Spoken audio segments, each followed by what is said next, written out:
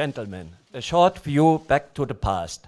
30 years ago, Niki Lauda told us, take a drake, a monkey, place him into the cockpit, and he is able to Sebastian Vettel Pierre Gasly. Oh, what has happened? We need to know who's going to come out in front as we see Lance Stroll hitting the barrier and going over the curb one more time. I think.